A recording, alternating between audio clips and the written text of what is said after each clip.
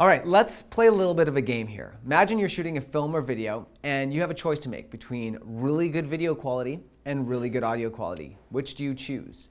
You'd be surprised how many people actually choose really good video and how this could probably be to their detriment. And we're gonna show you two examples. First, really good audio but really terrible video. So you can see with really terrible video how you can follow what I'm saying, how you can get into the story, um, despite the fact that the image has been degraded. Directors will use this creatively, like the Blair Witch Project, which is like an hour and a half of really terrible video, but the audio is so good you can follow the story. Things change drastically when we switch that around. Suddenly, with really bad audio, it's hard to take what I'm doing seriously. It's hard to take this whole video seriously. And to get through something like this that's even five minutes is painful. This might work maybe with action cams if the content is really good, like a skydiver. We kind of forgive that for a second. But for an actual film content, you can't pull this off. It's terrible and it's unwatchable.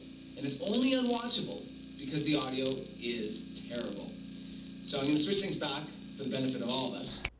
You can see how having good video and good audio is so super important. But if you had to choose, you shouldn't have to choose, but if you had to, maybe good audio is what you should be choosing.